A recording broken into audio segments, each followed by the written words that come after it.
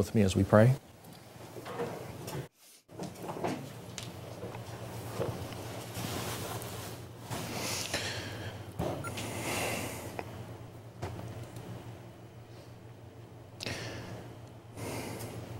Our Heavenly Father, we are grateful and thankful to be gathered here together to begin this week of prophetic study. And I ask that the light that shineth more and more into the perfect day, even the light of the more sure word of prophecy, as well as the light of the knowledge of the glory of God that shines from the face of Jesus Christ, we pray that these lights would be blended in the messages together as we study the third angel's message, as we experience what is the truth for this time, and also the uh, third angel's message experience, which is righteousness by faith. I pray that the Lion of the tribe of Judah may be present to open his word to our minds and our hearts, to give us understanding that we might have an intellectual and a spiritual understanding of the message that we might be sealed. This is our prayer. In Jesus' name, amen.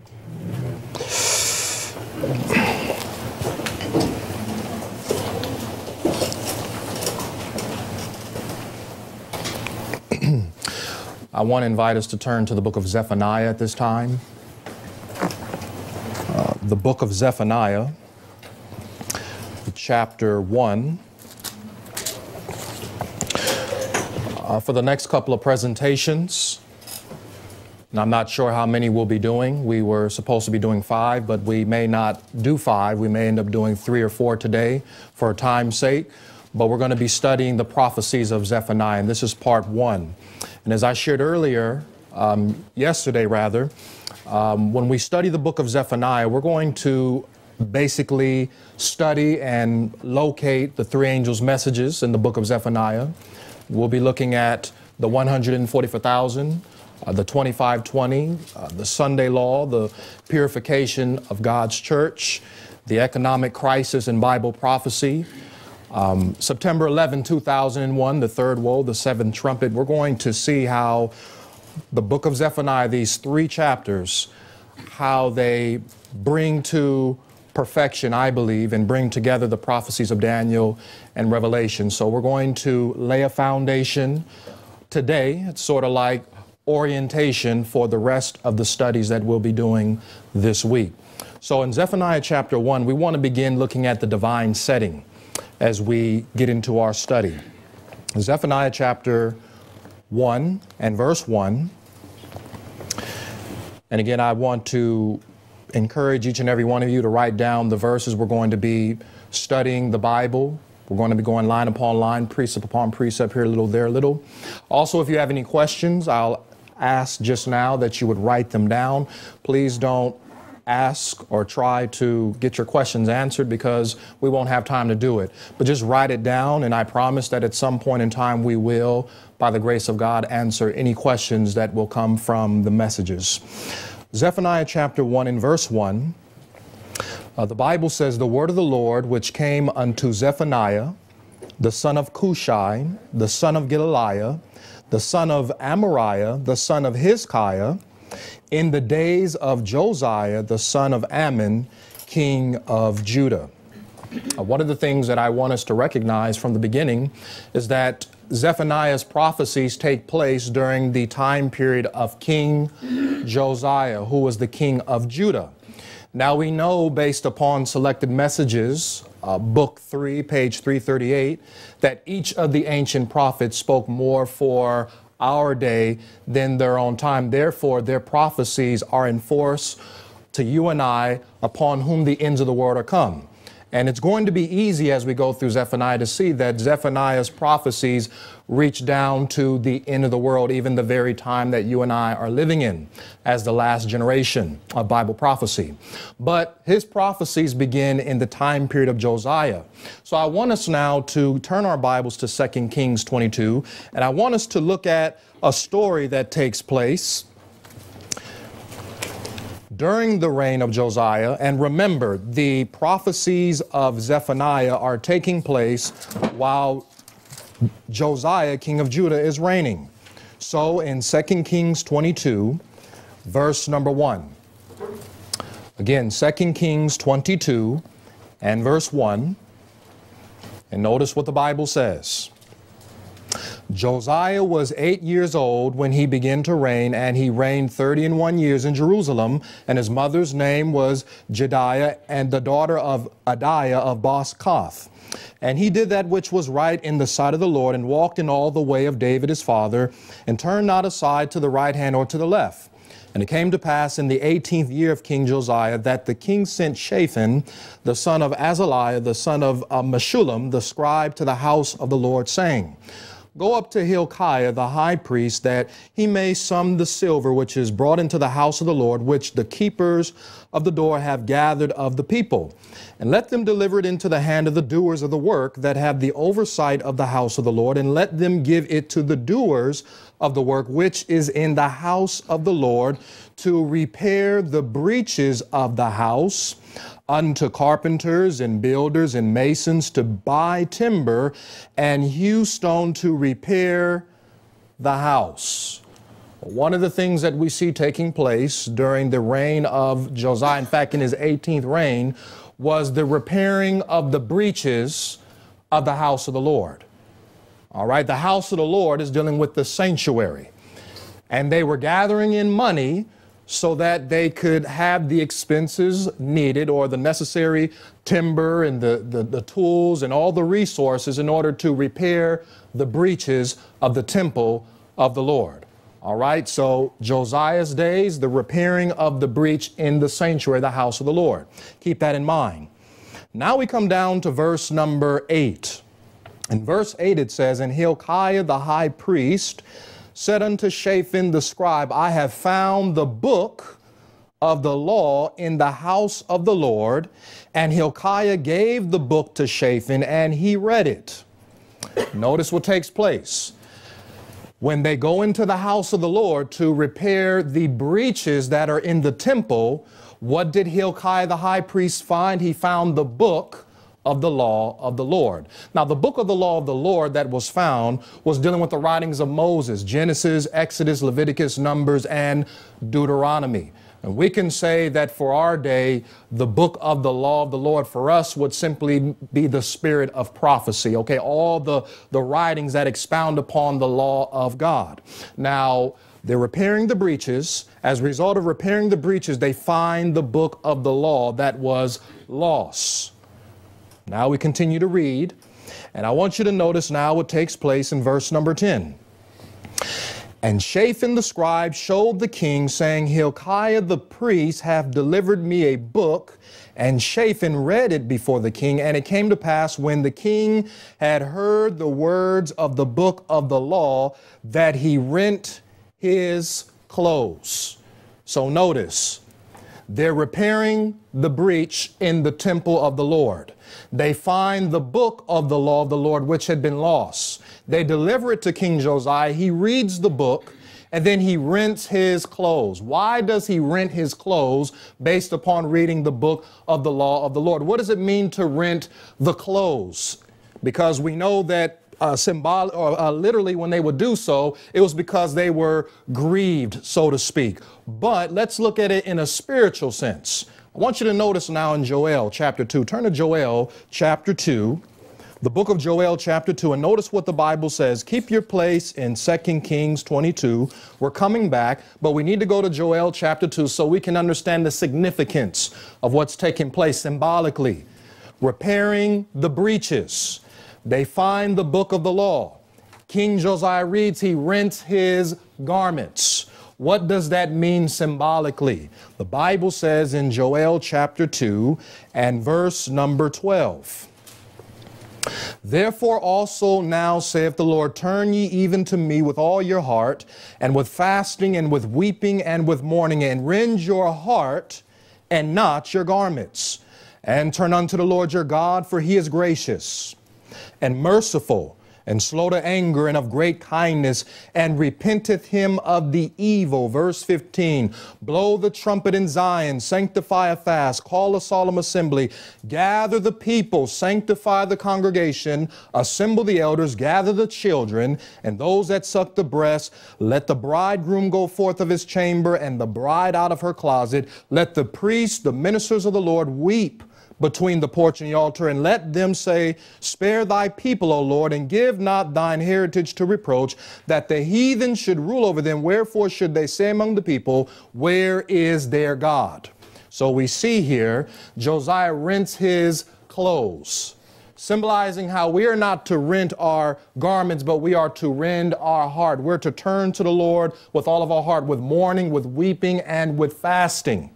Now, when we think about mourning, and weeping and fasting and rending the heart. A trumpet is blown, a fast is sanctified, a solemn assembly begins, and a gathering takes place. This should remind us of what took place on the Day of Atonement in the history of the children of Israel. But now let's come back to 2 Kings 22 now. 2 Kings 22.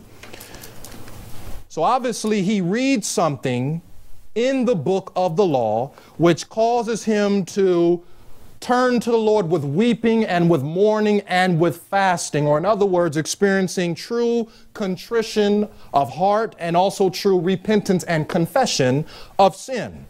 The Bible lets us know here in the book of 2 Kings 22, once again, 2 Kings 22. Let's notice what takes place. In 2 Kings 22, and let's notice what the Bible says going on here in verse number 12. It says, And the king commanded Hilkiah the priest, and Ahikam the son of Shaphan, and Achbor the son of uh, Machiah, and Shaphan the scribe, and Asahiah, a servant of the king, saying, Go ye inquire of the Lord for me and for the people and for all Judah concerning the words of this book that is found. For great is the wrath of the Lord that is kindled against us, because our fathers have not hearkened unto the words of this book to do according unto all that which is written concerning us. So, why he was uh, renting his garments, which is a symbol of mourning and fasting and weeping, repentance, acknowledgement of sin, he says, Listen, I recognize that our fathers have not obeyed the words that are in this book, and because of that, great wrath is upon us from the Lord. So, go inquire of the Lord. And when one would go and inquire of the Lord, they would go and seek the seer or the prophet. And in this case, it was a woman prophetess whose name was Huldah. And we find here in verse number uh, 14, so Hilkiah the priest and Ahikam and Achbor and Shaphan and Asahiah went unto Huldah the prophetess, uh, the wife of Shallum, the son of Tikvah, the son of uh, Har- Harhas, keeper of the wardrobe. Now she dwelt in Jerusalem in the college, and they communed with her. And she said unto them, Thus saith the Lord God of Israel, Tell the man that sent you to me, Thus saith the Lord, Behold, I'll bring evil upon this place and upon the inhabitants thereof, and even all the words of the book which the king of Judah hath read, because they have forsaken me and have burned incense unto other gods, that they might provoke me to anger with all the works of their hands. Therefore my wrath shall be kindled against this place and shall not be quenched. But to the king of Judah, which sent you to inquire of the Lord, thus shall you say to him, Thus saith the Lord God of Israel, as, as touching the words which thou hast heard. Verse 19, because thine heart was tender and thou hast humbled thyself before the Lord when thou heardest what I spake against this place and against the inhabitants thereof, that they should become a desolation and a blessing. Is that what it says? A curse. All right, I'm making sure you're still with me. A desolation and a curse, and has rent thy clothes and wept before me, I also have heard thee, saith the Lord. So notice what happens.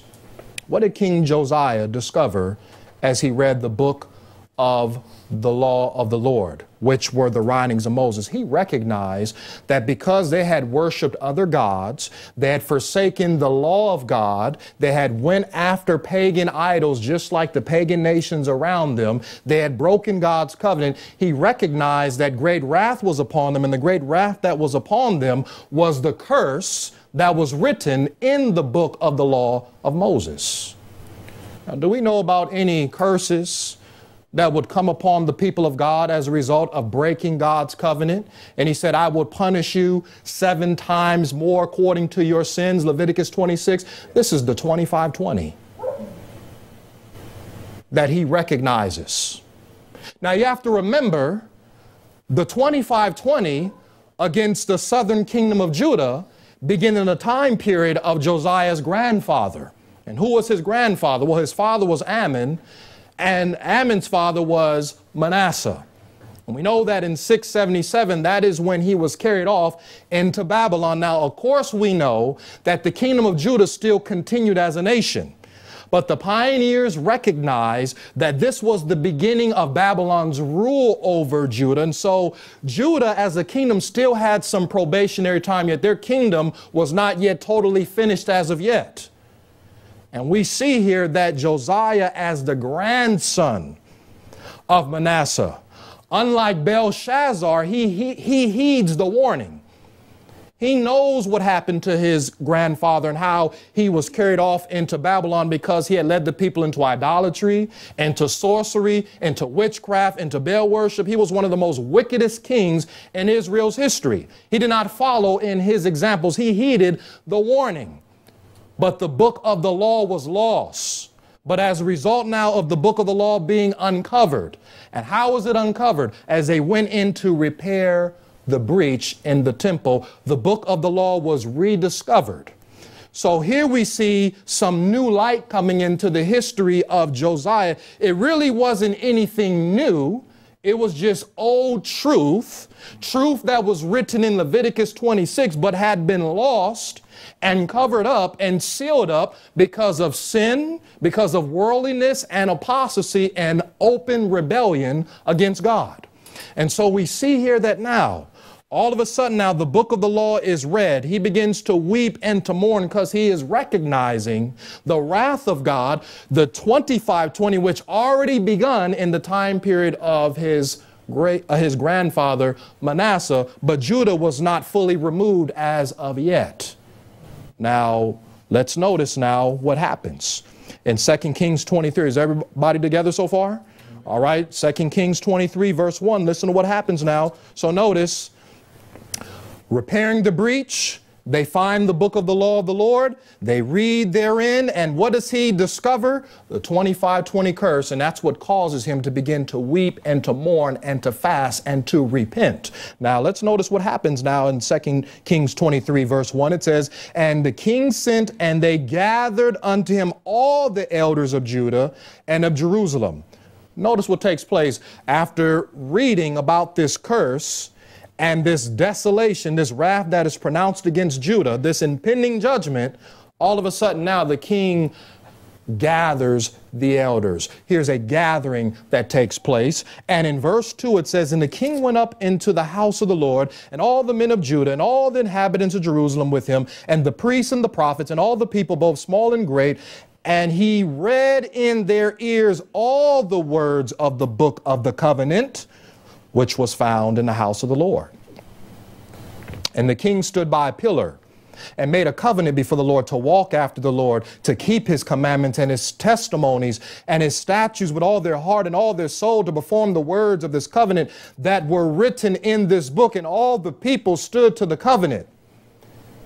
And the king commanded Hilkiah the high priest and the priests of the second order and the keepers of the door to bring forth out of the temple of the Lord all the vessels that were made for Baal and for the grove and for all the host of heaven. And he burned them without Jerusalem in the fields of Kidron and carried the ashes of them unto Bethel. And he put down the idolatrous priests whom the kings of Judah had ordained to burn incense in the high places, in the cities of Judah and in the places round about Jerusalem, them also that burn incense unto Baal, to the sun, and to the moon, and to the planets, and to all the host of heaven. What do we see here? As a result of the book of the law of the Lord being rediscovered, recognizing the curse of the 2520 that had already begun, they gather together and they make a covenant to keep the commandments of God, to keep the testimonies, the spirit of prophecy, and the statutes. And what do they do? They bring out all the vestments, all the instruments to worship Baal, to worship the sun, moon, and stars, and they literally destroy it. What we see here is a revival and a reformation and Israel being cleansed of all worldliness, of all apostasy, all new theology, all false doctrines, and false methods of principles of prophetic interpretation. Now, notice what takes place now. Because when we come down to verse number 19, notice what the Bible says. We're in 2 Kings 23. In 2 Kings 23, and I want you to notice what the Bible says here, beginning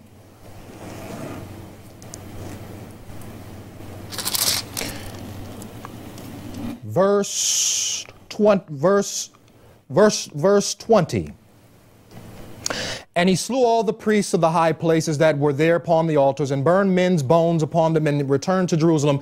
And the king commanded all the people, saying, Keep the Passover unto the Lord your God, as it is written in the book of this covenant. Surely there was not holden such a Passover from the days of the judges that judge Israel, nor in all the days of the kings of Israel, nor of the kings of Judah. What do we see taking place? When Baal worship is destroyed, when no one is involved in uh, Satanism anymore, sun worship, he says now it's time to keep the Passover. The Passover had not been kept since the time of the judges, since the time of, of the kings. Why? Because the people had forsaken the foundations of Israel. They had forsaken the foundations of Adventism. But what led them back to the Passover was finding the book of the law of the Lord, which was only discovered as they went to repair the breaches in the temple. When they saw the wrath of God, when they saw the curse of the 2520, Josiah did everything in his heart to produce a revival and a reformation. As a result of that revival and reformation, Baal worship, apostasy, sin, ungodliness, iniquity was removed and the people turned back to Passover. When we look at Passover, Passover was the birth of Israel literally as a nation. That was the beginning of ancient Israel, the Passover. When they left Egypt, and they came to the Red Sea. We know that before they left Egypt, we know that they had to slay the lamb and they had to also put the blood on the doorpost. They had to eat it with bitter herbs, with the staff in their hand, the shoes on their feet. And there's a lot of symbolism that we won't be looking at now, but we'll look at it later. But they left out of Egypt, which was a symbol of coming out of paganism, coming out of darkness, coming out of uh, spiritualism and, and, atheism and just sin. And they were coming to the uh, Red Sea. And as a result of coming to the Red Sea, they recognized that there was nowhere to go. And they saw Pharaoh's chariots behind them, and they were greatly disappointed. Just like the book Great Controversy, page 457 and 458 says that the Millerites were greatly disappointed on October 22, 1844, and the disappointment of the Hebrews at the Red Sea parallels and points forward to that disappointment on October 22, 1844. So notice this. When the Israelites came out of Egypt, that was their beginning as a nation. And when God brought his people spiritually out of Egypt in 1844, that was the beginning of spiritual or modern Israel. Does everybody follow what I'm saying? Okay, so when we look at the foundations of Israel, it began with the Passover, but it was suspended. They were not following the Passover. Why? Because of all the gods and because of forsaking the book of the law of the Lord, it was lost. Truth was sealed up to them. But now, after finding the book of the law of the Lord, now they have this revival, this reformation experience. They go back to the Passover. They go back and return to the foundations of Israel. Now, what is this? Why did we go through this story? Why are we looking at this? Because when we look at Zephaniah, in our day, when Zephaniah's prophecies are completely fulfilled because there was a literal local application, there'll be a spiritual worldwide application. When Zephaniah's prophecies are fulfilled again, it's going to be fulfilled during the time period where the breaches need to be repaired. And when the breaches are repaired, once again, the book is going, the book of the law of the Lord is going to be found, although it's not going to be the writings of Moses the spirit of prophecy, yes, is going to be restored again, but what is the book that has been sealed up? What is the book that has been lost? to God's people, the book that God's people are no longer studying anymore, which we're told that when we better understand these books, believers will have an entirely different religious experience because their hearts and minds will be impressed with the character that all will need in order to dwell among the blessed and the, the, the, the holy, and the gates of heaven will literally be opened up to them. And one thing will be certain that the connection between God and his people are close and decided. There will be seen a great revival among God's people. It's the book of Daniel. It's the books of Revelation. But the only way that we can understand the books of Daniel Revelation, the only way that we can uncover these truths that have been lost, is that we need to repair the breaches. Is there a prophecy concerning those that will repair the breaches in the last days? Notice Isaiah 58. Turn with me to Isaiah 58. The book of Isaiah, chapter 58. Isaiah 58. What happened in the days of Josiah when Zephaniah was prophesying is going to be repeated in our days.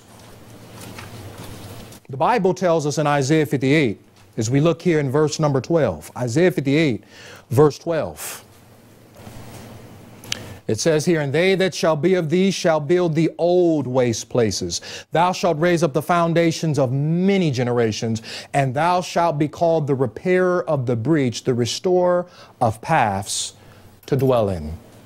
The only way we can return back to the foundations of Adventism, illustrated on these two charts, is that we need to study like never before the books of Daniel and Revelation. But the only way that we'll understand the new light that is found in Daniel and Revelation, which is designed to bring about a revival and a reformation, we need to go back and to repair the breaches. And in repairing the breaches, we have to raise up the foundations of many generations. This took place in the days of Josiah. People begin to weep, people begin to mourn and to fast and to pray and to put away all sin, to put away Baal worship among Israel.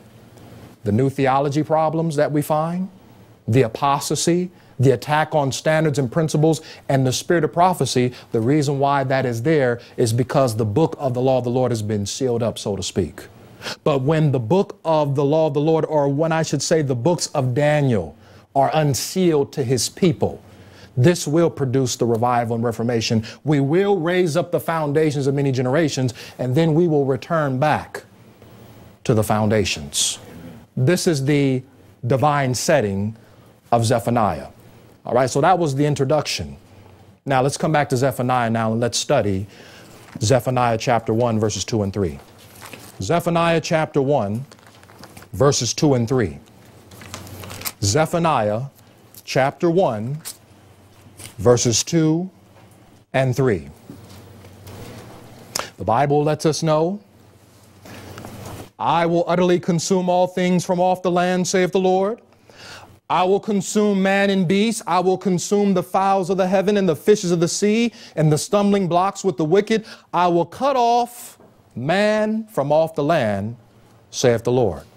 Now, did this take place in the days of Zephaniah when he cut off man and beast and the creeping things and the fowls and the fishes? Did this take place in his day? Partial. Partial fulfillment. Some will say partial fulfillment. Some may say maybe it met a fulfillment. Maybe it did meet a partial fulfillment. I tend to believe that this prophecy was not fulfilled in the days of Zephaniah, that Zephaniah was writing for our day and generation.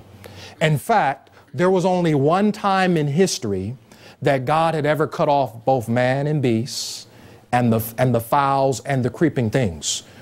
There was one other time beside this time, we find that it was in the days of Noah. Notice Genesis chapter 6 with me. Turn to Genesis chapter 6. Genesis chapter 6. Genesis chapter 6. When God says, I'm going to cut off man and beast, the fowls and the creeping things, what kind of message is God trying to communicate to his people?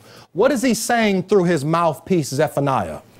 In Genesis chapter 6, we find in verse number 5, uh, Genesis chapter 6 and verse 5, it says, And God saw that the wickedness of man was great in the earth, and that every imagination of the thoughts of his heart was only evil continually. And it repented the Lord that he had made man on the earth, and it grieved him at his heart. And the Lord said, I will destroy man whom I have created from the face of the earth, both man and beast, and the creeping things and the fowls of the air, for it repenteth me that I have made them. Now, when God says, I'm going to destroy man from off the face of the earth, is this not depicting the close of probation on the antediluvian world? Yes, it is. So when we see in Zephaniah, God saying, I'm going to cut off man and beast, the fowls and creeping things and the fishes, this is talking about a message of the close of probation. Now, the last time I checked, probation is still open to those that are in the living. And we know probation did not close in the days of Zephaniah. So this has to be pointing to our day. Jesus said in Matthew 24 37, as it was in the days of Noah, so shall it be when the Son of Man comes again in power and in great glory. So then we recognize then that Zephaniah chapter 2 and 3 is pointing us to the close of probation. But what did Zephaniah mean when he said, I'm also going to cut off the stumbling blocks with the wicked? What are the stumbling blocks of the wicked that are going to be destroyed with man and beast and the fowls and the creeping things? I want you to notice in Ezekiel, turn with me to Ezekiel chapter 14. What are the stumbling blocks of the wicked that are going to be cut off? In the book of Ezekiel chapter 14, Ezekiel 14, beginning with verse number 1. Ezekiel 14, verse 1.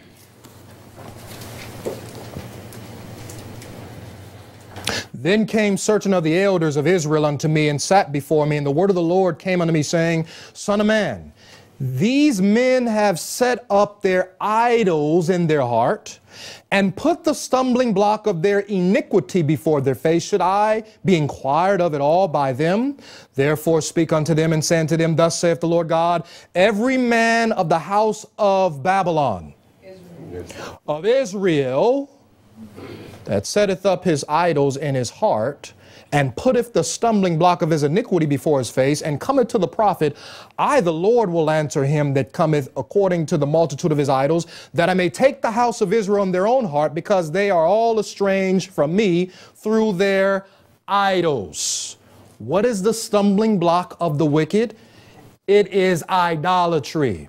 So God says, I'm going to cut off man and beasts and creeping things and fowls and the fishes, but I'm going to cut off all the stumbling blocks or I'm going to cut off all idolatry and all false and pagan gods. All right, but now let's look a little bit closer now. What are the idols that God is going to cut off at the end of the world just before probation closes on everyone? What are the idols? What are these stumbling blocks? That are going to cause people not to be prepared for the close of probation. When God says, He that is unjust, let him be unjust still. He that is filthy, let him be filthy still. He that is righteous, let him be righteous still. And he that is holy, let him be holy still. And behold, I come quickly, and my reward is with me to give unto every man according as his work shall be. We know that this is when Michael stands up in Daniel chapter 12, verse 1. The censer is cast down, the temple of God is filled with smoke, and no man is able to go into the temple until the seven uh, last plagues of the seven angels are fulfilled. Revelation 15, 8. But now let's look at these stumbling blocks. Let's look at some of these idols. Turn with me in your Bibles to the book of Micah, to the book of Micah, chapter 5. Micah, the fifth chapter. Micah chapter 5. These idols are leading the world to perdition. These idols are leading men and women to have their part, which burneth in the lake of fire, which is the second death.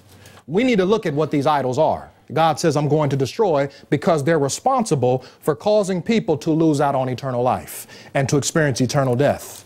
In Micah chapter 5, listen to what the Bible says Micah chapter 5 and verse number 10.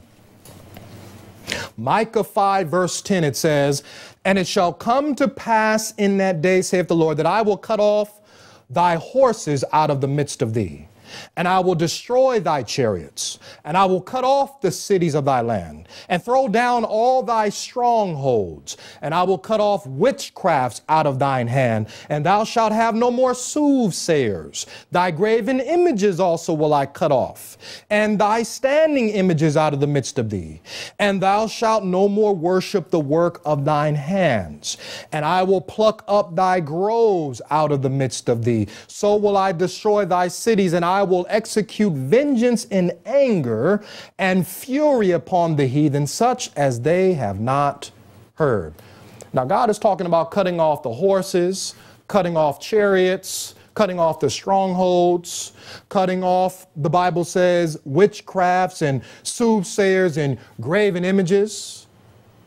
Whose chariots is he going to cut off? Whose horses? Whose graven images? Soothsayers and, and those that are involved with witchcraft? In order for us to understand, we need to look at verse 6 so we can understand the nation that's under discussion. We look at verse 6. Micah chapter 5 and verse 6. And they shall waste the land of Assyria with the sword, and the land of Nimrod in the entrances thereof. Thus shall he deliver us from the Assyrian when he cometh into our land, and when he treadeth within our borders. Now, in prophecy, when we talk about the land of Assyria, and the land of Nimrod, all we have to do is go back to Genesis chapter 10, and you'll see that the land of Nimrod or the land of Assyria was connected with the land of Shinar, and the beginning of his kingdom was Babel. So we're talking about Babylon's idols here. We're talking about Babylon's horses, Babylon's chariots, Babylon's soothsaying and, and witchcraft engraving images. But I want you to look at something with me in verse 12. Verse 12 again in Micah, it says, I'm going to cut off the witchcrafts out of thy hand, and thou shalt have no more soothsayers.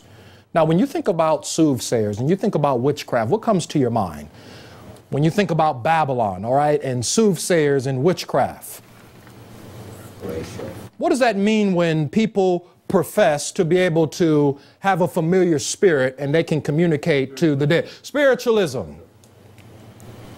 God is talking about cutting off and destroying the idolatry or the stumbling blocks of spiritualism.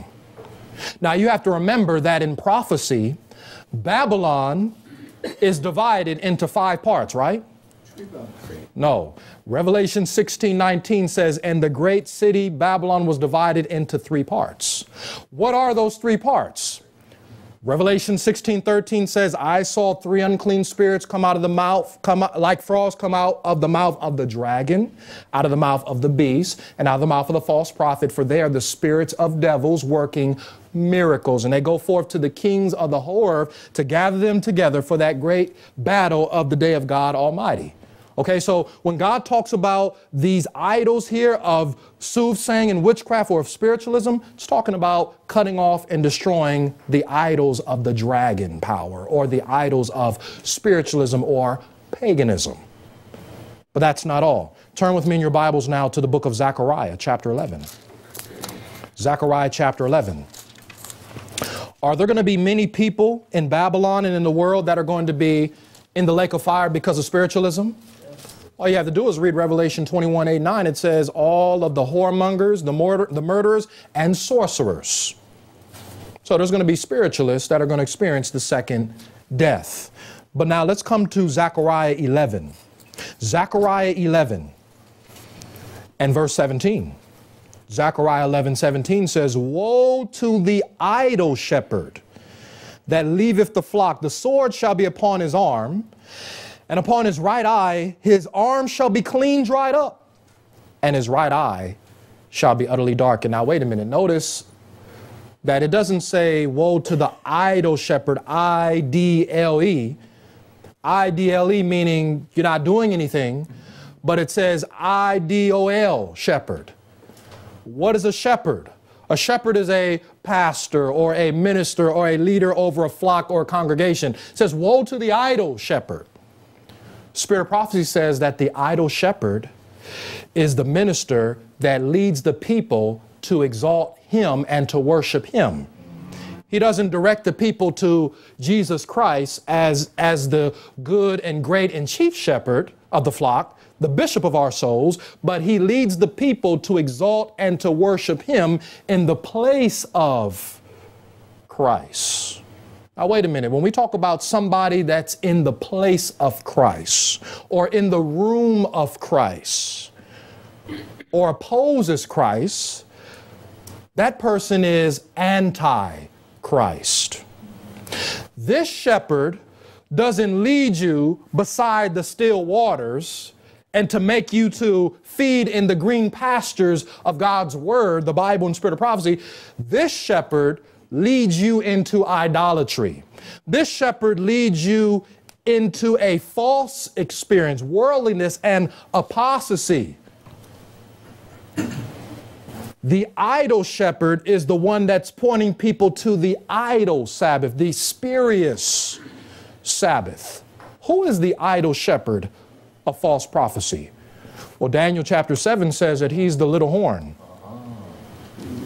Daniel chapter 11 says that he's the king of the north. Second Thessalonians chapter 2 verse 3 and 4 says that he is the man of sin that exalted himself and opposeth himself and, uh, and, and, and exalts himself above all that is called God or that is worship as he sits in the temple of God showing himself that he is God. Revelation 13 says he's the leopard-like beast and Revelation 17 says that he is she is mystery Babylon the great, the mother of harlots and the abominations of the earth.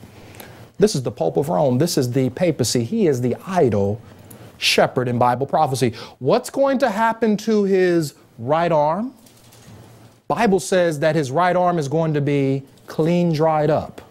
Now that's interesting. When you look at the arm here, the arm here is dealing with his armies. It's dealing with his military and political power. You look up the word armies in the Hebrew, it's talking about his military and his political armies or power being dried up. Wait a minute. When are the armies of Rome or the, or the military strength, the people that support Rome, when are they going to be dried up? The waters that this woman sits upon. Well, in Revelation chapter 16, verse 12, when the sixth angel pours out his vial upon the great river Euphrates, so that the waters thereof might be dried up, that the way of the kings of the east might be prepared. That's the sixth plague. When does that take place? Well, we know that this takes place after Michael stands up, so to speak. But when we talk about the rivers of Euphrates being dried up, or the waters of Babylon, the, the peoples, multitudes, nations, and tongues, that begins to be dried up before the plagues are poured out. What does Daniel 11:45 say?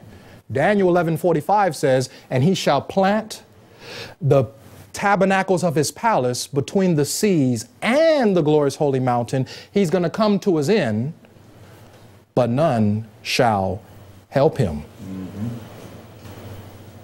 What does the Bible mean when it says that his right eye is going to be darkened? Why the eye of the papacy? What does the papacy do with its eye? You remember Daniel chapter 7 verse 8? Go to Daniel chapter 7 and verse 8 for a moment. Go to Daniel 7 and verse 8. Daniel chapter 7 and verse 8. Listen to what the Bible says. Daniel 7 and verse 8. The right arm, the military power of the papacy is going to be dried up. In Daniel 11 verse 45, and also at the sixth plague in Revelation 16. But now I want you to notice in Daniel 7, why is the eye of the papacy going to be darkened? What is the what does the papacy do with its eyes? Daniel 7 and verse 8. I consider the horns, and behold, there came up among them another little horn, before whom there were three of the first horns plucked up by of the roots. And behold, in this horn were the feet like the feet of man. Is that what it says? What does it say? Nice. It says, In this horn were the eyes like the eyes of man, and a mouth speaking great things. Now, wait a minute. The eyes of man, the Bible says, are never satisfied. And in connection with the eyes of man, we see this mouth speaking great things. What are these great things that this Antichrist power is doing? What are these great things that he is speaking from his mouth? Out of the abundance of the heart, the mouth speaks. In Revelation 13, let's notice Revelation 13. The book of Revelation, chapter 13. Revelation chapter 13 and verse 5. Revelation chapter 13 and verse 5. Revelation 13, 5, listen to what it says. And there was given unto him a mouth speaking great things and blasphemies, and power was given uh, unto him to continue forty and two months. And he opened his mouth in blasphemy against God to blaspheme his name and his tabernacle and them that dwell in heaven. Why is his right eye going to be darkened? Because it's with his eyes that he exalts and lifts up himself against God, and he speaks these blasphemies against God to blaspheme his name, his tabernacle, and them that dwell in heaven. Blasphemy, according to the Bible, is A, when a man claims to be able to forgive sins. Mark chapter 2, verses 5 to 7. And B, John chapter 10, 30 to 33, when a man claims to be God. There's only one man on the face of the earth that claims to be able to forgive your sins, and also he claims to be God. That, again, that's the Pope of Rome. But his eye is darkened. When is the eye of the papacy? The intelligence of the papacy. His mind is darkened when? In Revelation 16. Turn with me to Revelation 16. Revelation 16, beginning with verse 10. Revelation chapter 16 and verse 10. Revelation 16, 10. And the fifth angel poured out his vial upon the seat of the beast. Where's the seat of the beast? Remember the dragon, Revelation 13, 2, the dragon gave him his power, his seat, and great authority. Where is the seat or the kingdom of the papacy? Where is it located? In Rome, in the Vatican, seven mountains.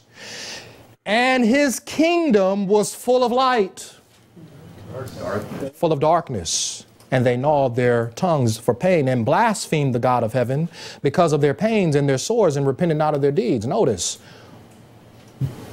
the Vatican has one plague the fifth plague of darkness reserved just for it. Why? Because it was this power that led the world in a dark age. It was this power that led the people to have a darkened understanding of the law of God, of the character of God, and also of the high priestly ministry of Jesus. And the reason why that tongue, you, you notice how it says their tongue is gnawing for pain? It's because with that wagging tongue, he's been blaspheming God. It was with that tongue, his doctrine, his dark sentences, that he led people also to blaspheme God, to make people into atheists as well, to forsake the covenant of their God. And there's more that we can go into, but that's why their tongue is being judged and punished because it was with that tongue, with that mouth, that they were speaking great blasphemies against God and His law and His people. So when God says, I'm going to cut off the idols, I'm going to destroy man and beasts and fowls and creeping things, He's talking about doing judgment upon the idols of Babylon, the idols of the dragon power, spiritualism, the idols of the beast power, which is the Pope of Rome himself, and also on his seat as well. But that's not it. Zechariah chapter 13. Zechariah 13. Zechariah chapter 13, verse 2. Zechariah chapter 13 and verse 2. The Pope of Rome, the beast power, is leading people to the lake of fire. The dragon is leading people to the lake of fire by their idols. The stumbling blocks of the wicked, that which, is, which causes people to stumble over the truth for this time and accepting Christ Jesus as a personal Lord and Savior from sin. Zechariah 13, 2. And it says here, and it shall come to pass in that day, saith the Lord of hosts, that I will cut off the names of the idols out of the land, and they shall no more be remembered. And also, I will cause the prophets and the clean spirit, the unclean spirit to pass out of the land. Wait a minute. Now, we talked about the idols of the dragon, the idols of the beast power. Now, the Bible says here, I'm going to cut off the names of the idols. And also, I'm going to cause the prophets and the unclean spirit to pass from the land. We talked about the dragon. We talked about the beast, but that's just two thirds of modern Babylon. Is there a third player? the false prophet. And who was the false prophet in Revelation chapter 16? Who was the false prophet? It's the United States of America. It's apostate Protestantism, that power that's going to breathe life into the image of the beast and command the whole world to worship the beast on pain of death. You won't be able to buy or to sell. It's the power that's going to lead people to accept the idol Sabbath and this arrangement between the United Nations and also the Vatican. It's the, it's the military power, the economic strength as well of the papacy, but it's talking about the false prophet, the idolatry, and there are there is much idolatry in Protestantism today that we don't even have time to get into. But what we see here in Zephaniah chapter 1, verses 2 and 3, is God speaking about executing judgment upon modern Babylon. Now, does God have people that are involved in spiritualism? that he has to call out of? Does he have people that are involved in Catholicism that need to come out? Does he have people that are involved in apostate Protestantism? Yes, he does. So there needs to be a message to Babylon. Is that right? There is a message that calls people to come out of Babylon. Why? Because they're going to be destroyed with their idolatry and have their probation closed if they stay therein. So what's the message? It's Daniel 11 41 he shall also enter into the glorious land, and many shall be overthrown. But does it say everyone's going to be overthrown? No, just many is going to be overthrown. But it says, and these shall escape out of his hand. Whose hand? The hand of the king of the north. Even Edom, Moab, and the chief of the children of Ammon. Who is Edom, Moab, and the chief of the children of Ammon. We'll be dealing with that later on in the week. But it's those that are involved with the dragon, those that are involved with the beast, those that are involved with the false prophet. It's those that are in spiritualism, Catholicism, and apostate Protestantism. They have to come out. Why? When is God going to cut off and destroy Babylon? When does he begin to do so? In Revelation 16, you have the falling of the plagues.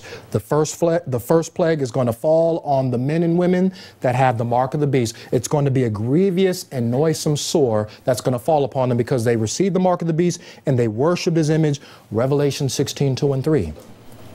So, verse 2 and 3 is talking about the close of probation upon modern Babylon and those that are in the world, and they need to be called out lest they receive the plagues.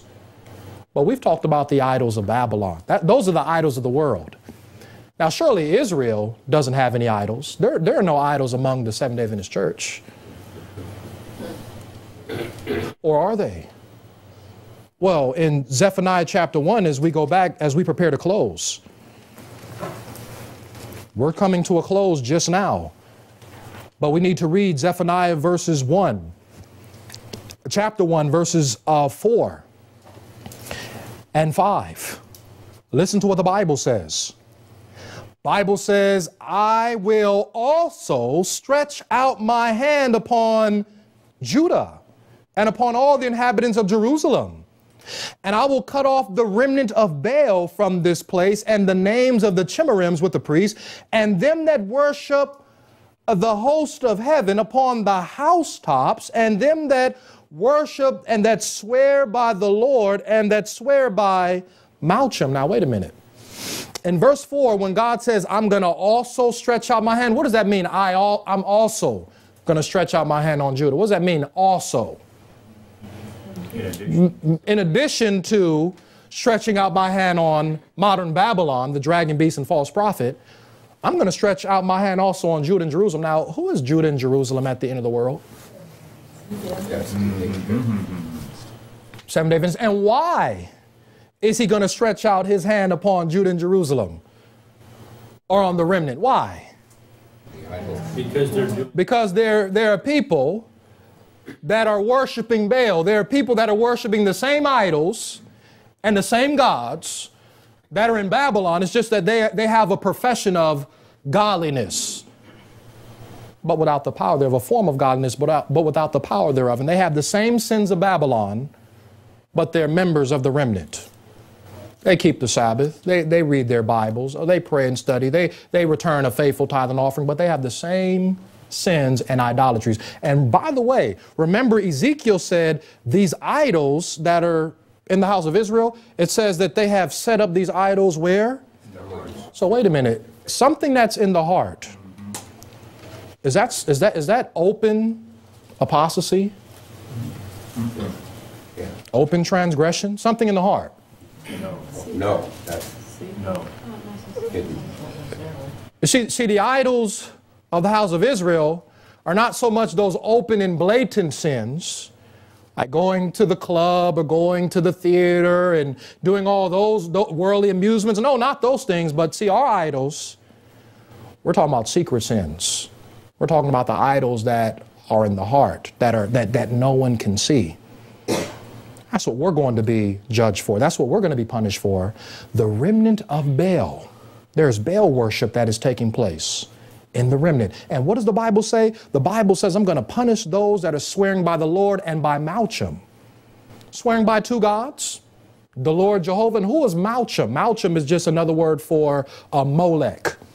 You remember the god Molech, who they used to take their, had the hot burning arms and uh, uh, hot arms and, and hands, glowing orange, red hot, and they would throw their babies and offer up their children to, to Moloch.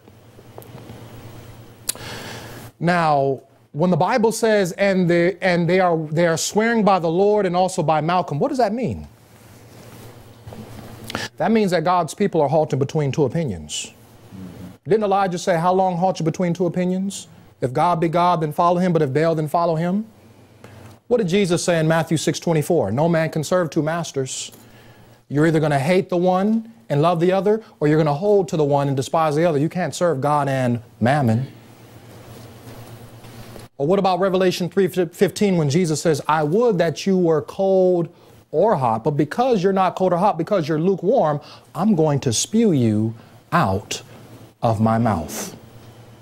Now, surely we don't have Baal worship going on in our churches today. Us as Seventh day Adventists, we don't, we don't worship Baal. We don't bow down to idols of gold and of silver and of brass and of iron and wood and stone that can't see, can't talk, can't hear, can't smell, right? Baal worship is verily well and alive today as it was in ancient Israel. Let me read something to you in closing. Great Controversy 5, 583 as we close. Great Controversy 583. Listen to what it says. What is Baal worship? I think we need to allow the spirit of prophecy to be able to identify to us. Because some of us think we're worshiping the true God, but after we read this, then I think we're going to have to go back and examine our hearts to see who sits on the throne of our hearts and who we're really worshiping whether it's Christ uh, enthroned within or whether it's Baal that's in the heart. Listen to this. This is Great Controversy 583, the impending conflict. We're closing with this statement. It says here, in rejecting the truth, men reject its author. In trampling upon the law of God, they denied the author of the lawgiver. It is as easy to make an idol of false doctrines and theories as to fashion an idol of wood or stone. Let me read that again. It is as easy to make an idol of false doctrine and theories as to fashion an idol wood or stone. Do we have false doctrines among us today? Do we have winds of doctrine blowing through Adventism, sweeping people off the foundation of the faith once delivered to the saints? New theology, false principles of, of interpreting prophecy, especially in the books of Daniel and Revelation. That's Baal worship.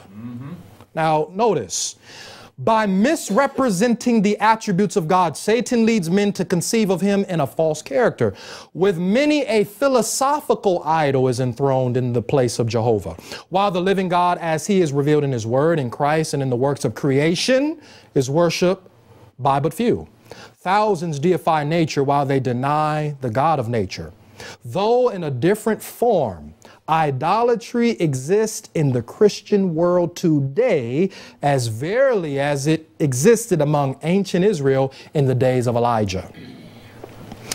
the God of many professedly wise men, the God of wise men, the God of philosophers, of poets, politicians, journalists, the God of polished, fashionable circles, of many colleges and universities, even some theological institutions, is little better than Baal, the sun god of Phoenicia. You know what she just described? She just described every sector of human life music, education, health, uh, sports, theological seminaries. There are many people today worshiping Baal, the sun god of Phoenicia, even as ancient Israel went into apostasy and wandered after Baal as well. Is there idolatry that exists within the human heart? Are there idols that Seven day Adventists have while they claim to worship the God of creation, but really they're worshiping self? Because when you worship an idol, what are you really worshiping? Bible says that they worship the works of their own hands. If you're worshiping the works of your own hands, you're worshiping self. So false doctrines, false theories, education, uh, politicians, poets, fashionable circles, colleges, universities, all these things alike, God says that I'm going to have to stretch out my hand upon my people. Those that go up to the housetops to worship. What were they doing going up on the housetops to worship? We, we read it in 2 Kings 23. They were worshiping the sun, the moon, and the stars. What kind of stars do we worship? The stars that we see at night in the heavens? Oh no. Movie stars? Sports stars? What other stars? Musical stuff. Musical stars? Education, stuff. Political. Political? I believe, brethren, that the book of Zephaniah is a message to God's people living here just before probation closes. Let us pray as we end part one.